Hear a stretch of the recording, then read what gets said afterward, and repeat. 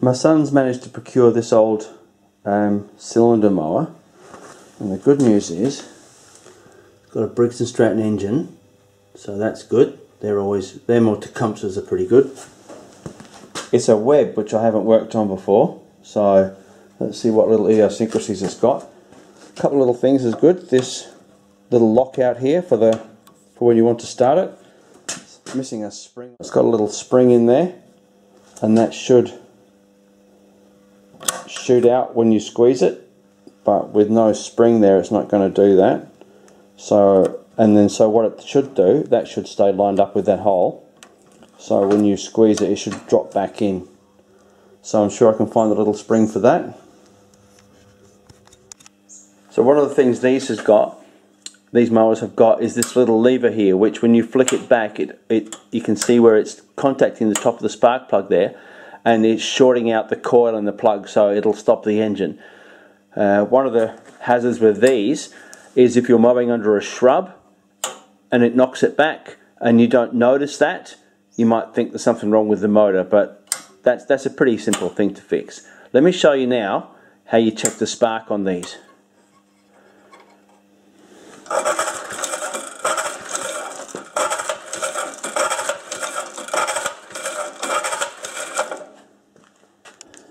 This isn't going to be a full restoration. I'm just going to get this running. Um, what I'm going to have to do is I'm going to have to take this apart. Those balls that's loose that's normal but it sometimes catches because it's got some gunk in it and I'll, I'll do that um, and show that how you do that on a video. This governor spring here is quite obviously knackered. It's been re-stretched and put back on. Those bolts those screws there that are holding that manifold on, they're loose. And also, it's splashing fuel out of there. So I'm going to have to fix that. Um, that's got a little bit of play in it. I'm not sure whether I can fix that or not. I don't know if it's worth getting a new carby for this or not. But I've um, I've given this a shot of aerostart and got it to start. So it runs. The compression is not the greatest. To get this open, you get a small screwdriver, just pop it in that little corner there, in that in between those two faces, give it a little bit of a tap, and then you just twist that, and that, that'll come off.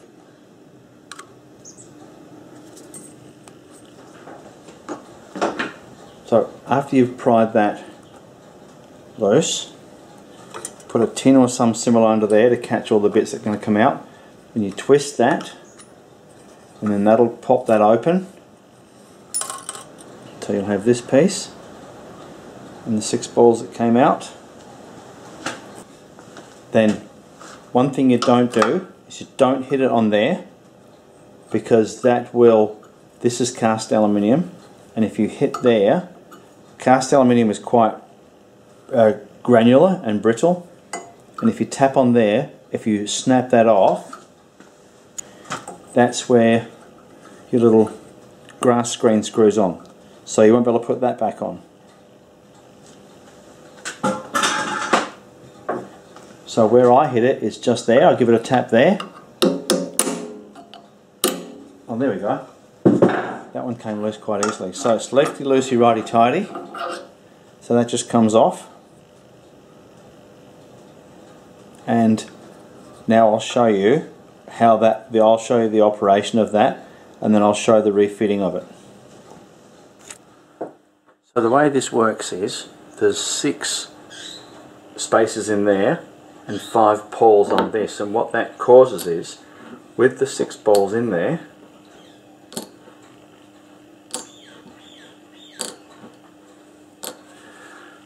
when the coil is returning it's doing that and as you can see those balls are all jumping out of the way. Nothing's getting caught because it's running up that little hardened cam face. But as soon as you pull the cord one of them gets caught. And in this case it's that one there.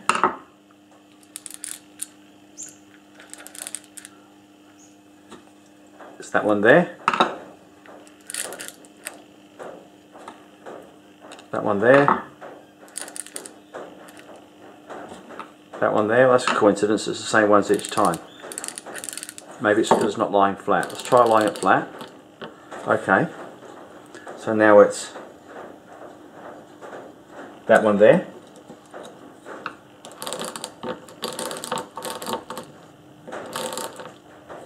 Now it's that one there. Now it's that one there. So it's, a, it's just random which one gets caught. Um, and the way the way this works is when you pull it round, it's doing that, and when it, when the cables when the cord's returning, it's doing that. There we go. See that one there's caught. That one there.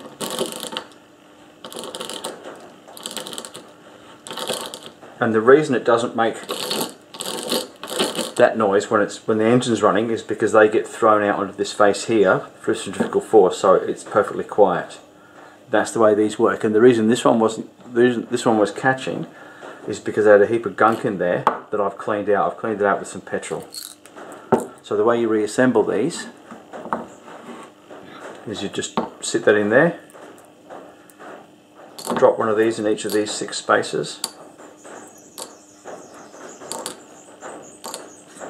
and then this piece here which has a, a lip seal, and this lip seal's in pretty good nick. Had a little bit of gunk in there, but nothing to write home about. Just give it a tap. And there you go.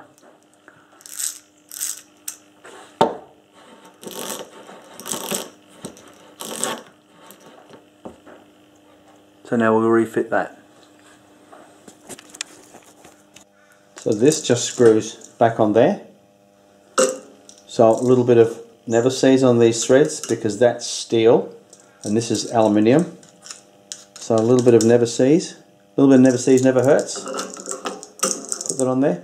Just spin that up. Just tighten it by hand. Because it'll it'll tighten. It'll tighten as you as you as you pull the motor to start it. A little bit of play there but that's that's pretty normal Earlier on I fitted this and I just snugged it up by hand. But the problem with that is, is that when I, I didn't actually expect it to start first pull. And it did. And what it's done is, is there's the key that came out of it. It's smashed the key to bits because it came loose. And I really wasn't expecting that, but I'll be honest, I wasn't expecting it to start first pull. I was expecting to pull it half a dozen, maybe 10 or 12 times before I got at the start. So that's the key. That's part of the key that's come out, and it's it's stripped the key, which is a good thing because key steel is very soft, and the whole idea of a key is that it shits itself and protects this expensive component and this expensive component. So that's that's sheared, and um, and this has all come loose. So I thought, okay, well, no, no dramas. I've got some some key steel, so I'll make a new one. This is 3 16th, like 4.7 something millimeter key. So I thought, okay, no dramas. I'll make a new one. But so there's the magnet off the magneto. Check this out. I forgot. Briggs and Stratton engines have an aluminium key.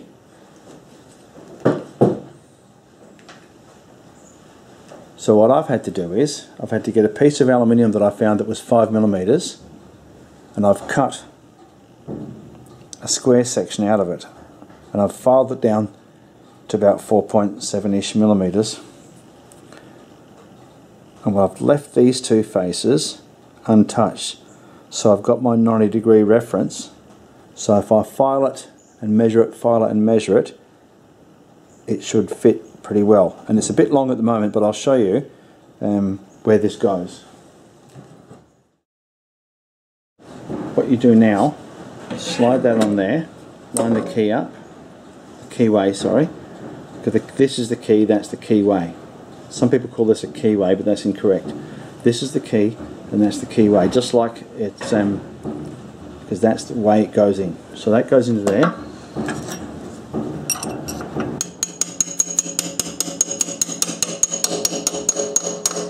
That sound change? That's all that's as far as it's going to go. And I'm pretty pretty happy with that actually, that's worked really well. So now you just mark it. So I'll take that out now and cut that to length. So now that I've got the key made, I've just rounded off the edges, rounded off the corners, just so that it's a bit of a nicer fit. A little bit of never on that taper there. Because God knows when this neck's going to come off. Not much, you don't want too much on there, just a little bit.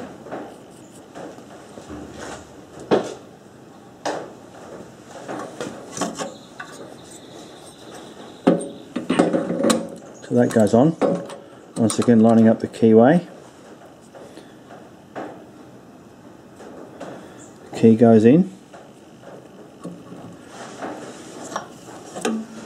A little bit of a, a hand to get home.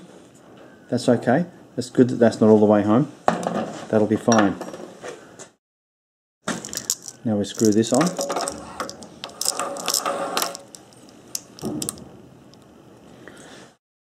changed my mind, I'm going to torque this up. So I've found a socket that fits on there, that's a 22mm socket, fits okay on there. And the advantage is you can use that, that acts like a ratchet. So I just need to hold the flywheel still with this screwdriver here with a block of wood so that it doesn't, it's kind of jamming it just nicely. Just make sure that pin's in.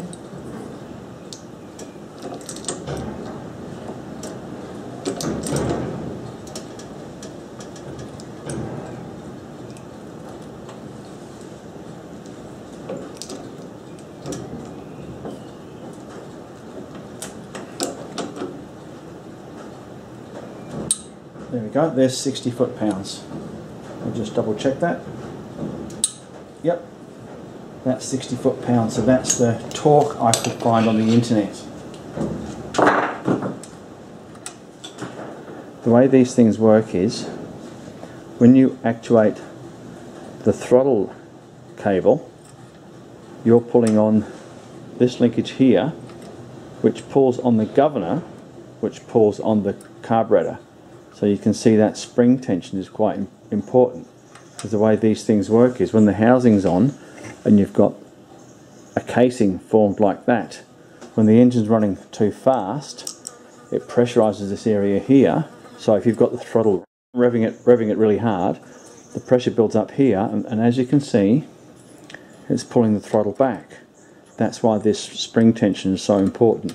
So you actually only influence the governor which then influences the, oh really? You influence the governor, which influences the carburetor. So there's your, your idle stop there. So that's, that's why that governor spring is so important. So we'll have a go at changing that.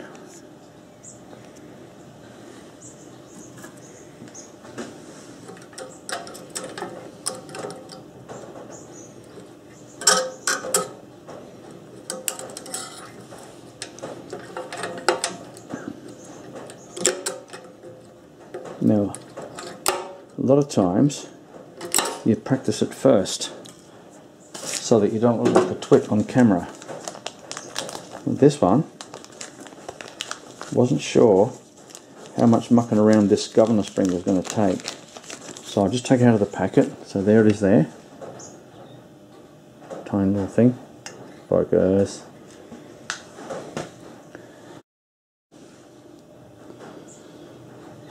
that hooks through there.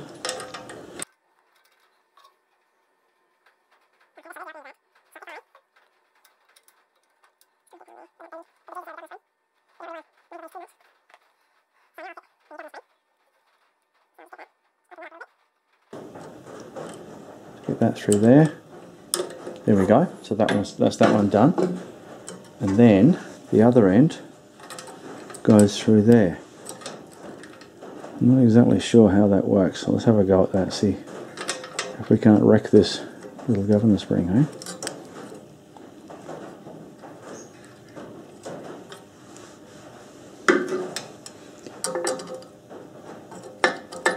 Oh, there we go. Oh, that wasn't too hard at all.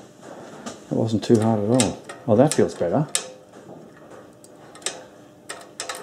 As you can see, when it's when the tension's right off the throttle cable, and then the, the engine's revving, there's a little bit of air pressure, it'll, it'll slow the engine down. And then you put a little bit of load on that spring, and then the engine will push there, and it'll load up that, and it'll stop the engine from over revving. As I pointed out earlier, these two screws are loose. That one's difficult to get to, and this one's impossible to get to. So I'm going to look through my box of bolts and change them. So we'll start with taking the fuel tank off this um, vacuum jet carburetor.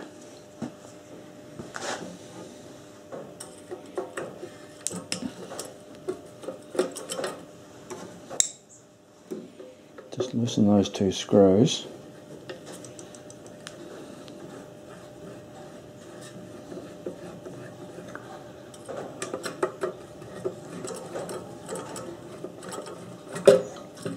What you have to be careful of is you don't damage this.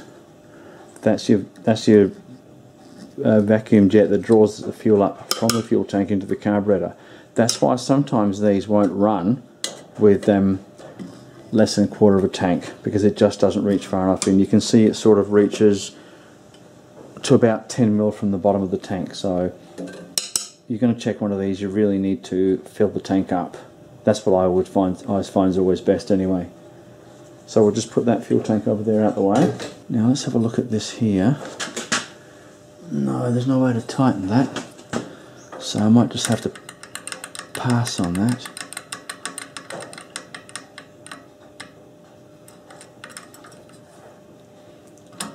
So there's no way to tighten that. There's no screw underneath. There isn't.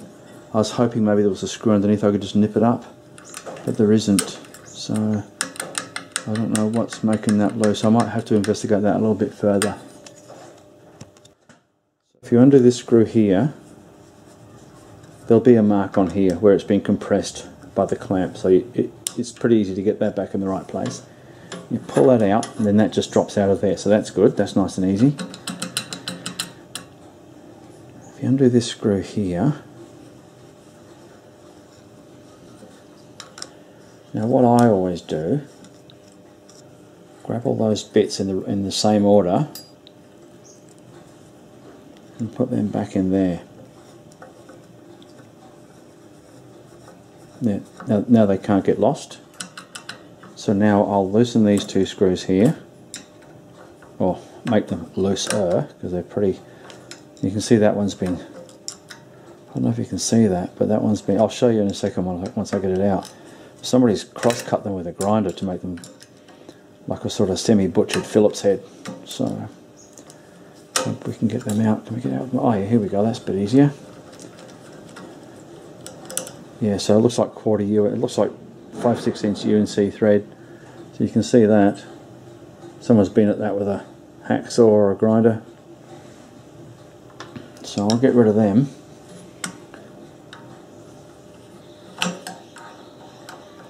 And I'll replace them with a hex head bolt because hex head bolts are always better than screws. Not a lot of things beat a screw, but a hex head bolt does. Just get the rest of that one out. I'm not going to worry too much about that gasket there because that. Alright, and then so what you do is now to get this linkage off of here, just tip that up, and that'll just drop out of there. So just, and the good thing with videoing is now I don't have to remember how it went back together because I can look at the video. So there's the gasket that came off. Mm. Oops, I've seen worse. And there's the screw that's come out of there and that one's been cross-cut with a grinder or a hacksaw as well. So, hmm, oh well. It is what it is. We'll replace them. Now just looking at this exhaust manifold, I'm wondering what are the chances of that coming off? The way these work is that locking collar, this screws into the head and then this locking collar locks it on. So, they usually come off okay.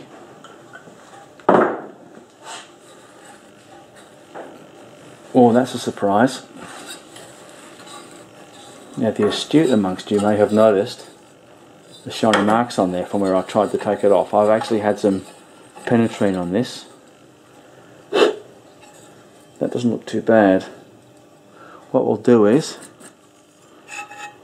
we'll leave that off for the moment, but once we put that back on, I use the decibel meter on my phone and check whether it's sort of still in spec. I don't want to get anybody in trouble with this because this is my son's lawnmower and he lives in the suburbs. I live in the country, but he lives in the suburbs. So we'll, once we once we finish, we'll put that back on. We'll run it and see how we're going. That actually came off a lot easier than I was expecting. Like I said, the, the astute amongst you may have noticed the shiny marks. So I have actually already loosened this, but once once again, much to my surprise, it actually came off because that's steel, aluminium, and this thing was made in 1967, I think it was.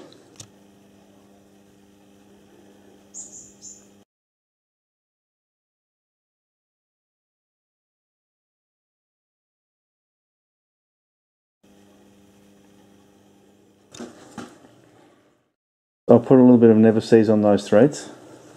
Never-Seez is always a good idea. Never-Seez is never a bad idea. So there we go, so we'll line it like that. Give it a bit of tappy tap tap, as the AVE likes to say. Yep, that's pretty good. Okay, so it looks like there's not much I can do about that. If you can, know if it comes out on camera very well, but it's, it's worn a little bit over on this shoulder here. So when that goes back in, it's got a little bit of play. But it'll just have to be what it is because I don't know if this carburetor is worth throwing much money at.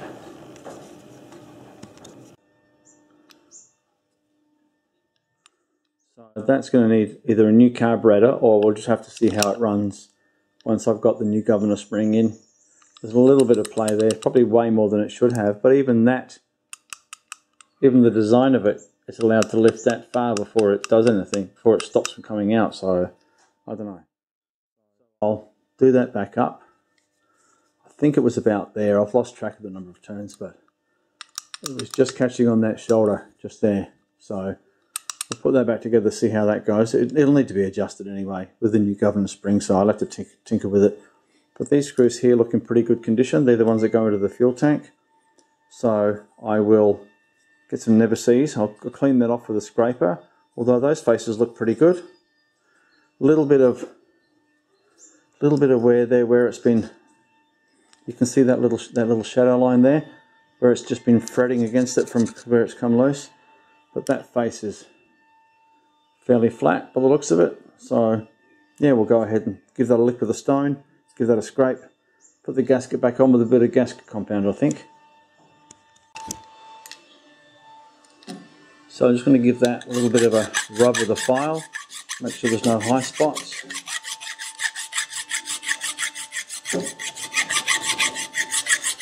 Looks like there is, just there and there. So I'll get a feeler gauge and a, and a straight edge and we'll see how much we've got there. Oh, it's just starting to just starting to clean that up now. I'm going to put these in with spring washer. So I've got a spring washer and the reason you don't put a flat washer on a spring washer I was always taught is because that sharp edge there bites into the job. That sharp edge there bites into the underneath the head of the bolt. So if you put a flat washer as well, then you may as well not bother with a spring washer because it's the flat washer will continue to rotate against the job so you're locking this onto the flat washer so you're not really achieving anything. And I've put some purple thread locker on there so hopefully these won't ever come loose.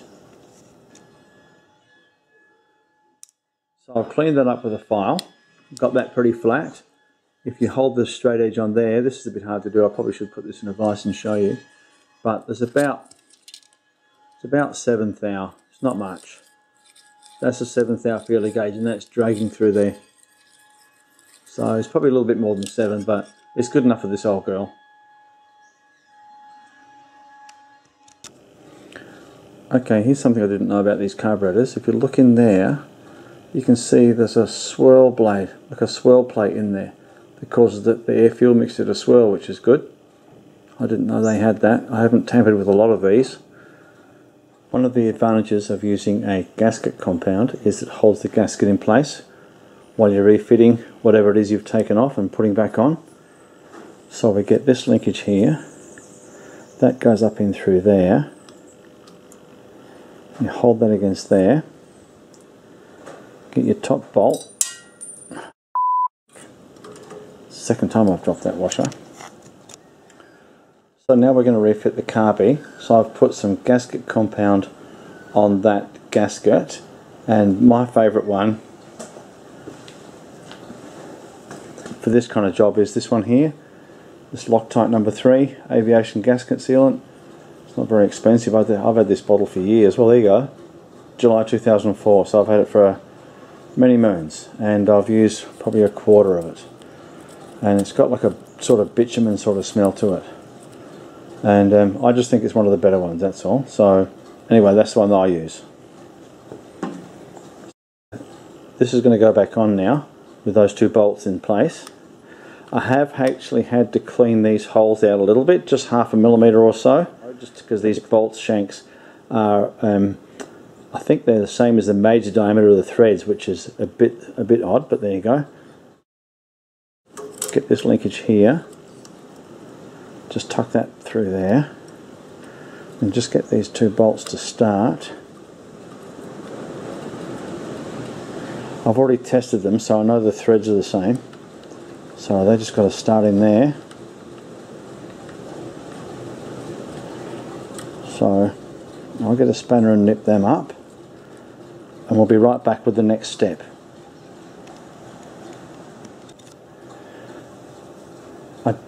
Tried to find a torque value on the internet, but I, I sort of really gave up looking because it was just becoming a little bit of a bit of a chore.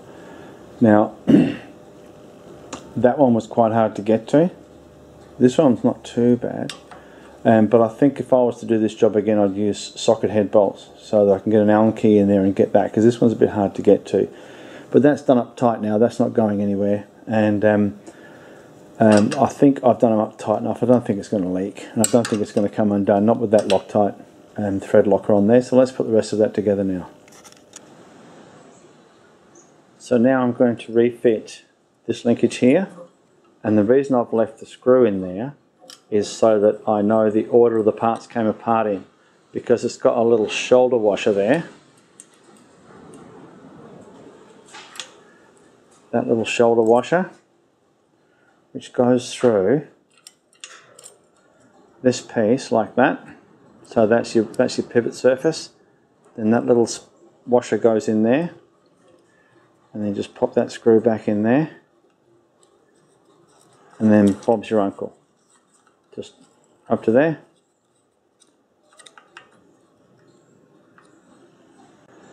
Now to refit the throttle linkage, so that just tucks through there.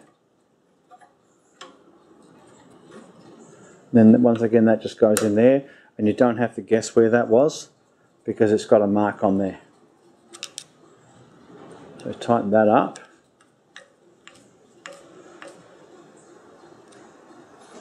a slightly larger screwdriver and just check that's tight. Yep, that's good.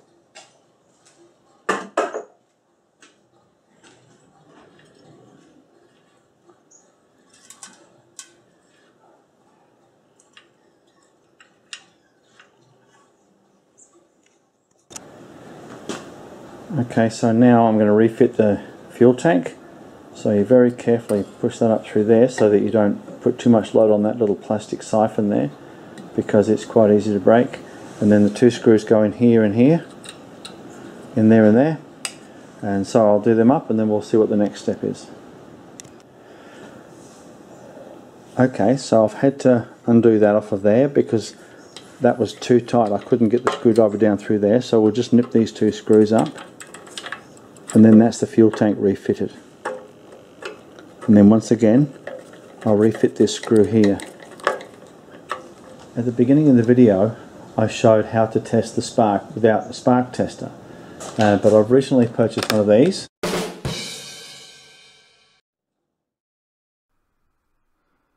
I've had to redub this audio because as you can see from um, through the window of the shed it was so windy that a lot of what I said didn't come through because it was just being drowned out by the sound of the shed door rattling and the wind outside. But basically you connect this to the spark plug lead and then to the spark plug itself. And when you turn the engine over you'll get a small light that little light bulb in there lights up. And it's a really good way to test the spark without having to take the spark plug out because some are quite difficult to get to. And these things are really good for doing exactly this testing the spark without having to take the spark plug out. Okay so I have had this running earlier today. I've put the cover back on and the uh, grass screen. And um, it's as near as shit to being cold. The engine's, engine's cold, it's barely warm to the touch on the back there. So now we're going to see how easy this thing starts and it does start very easy. So about three quarters, about three quarters choke, a little bit on the throttle, maybe a bit more choke.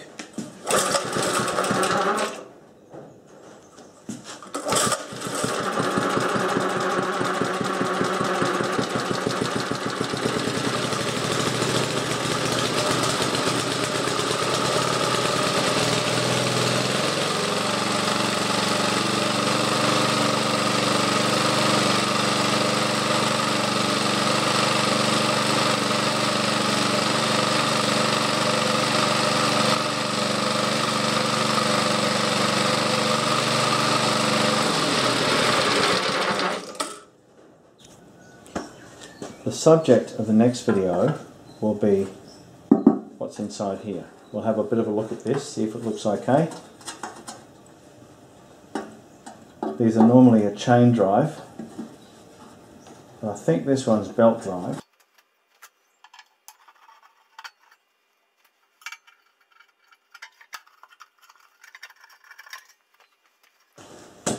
So that's the colour it would have been originally.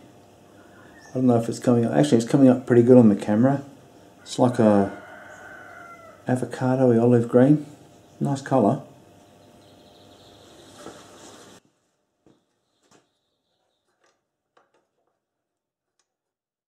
So we'll have a look at this in the next video.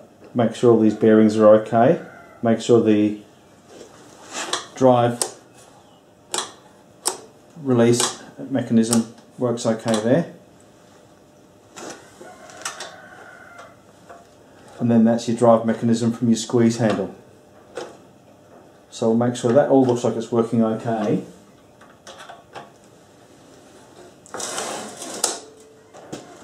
Then we'll pull this off, check the bearings, give that a bit of a sharpen, change the oil last up. Okay, thanks for watching. Uh, once again, please click like, subscribe and that notification bell so you get a notification when my next video comes up, which shouldn't be too long, I hope. I'd like to get this job sorted before Christmas. Um, so the next video should be on the drive mechanism and the cutting blades, and um, I'll change the engine oil also. Okay, thanks again.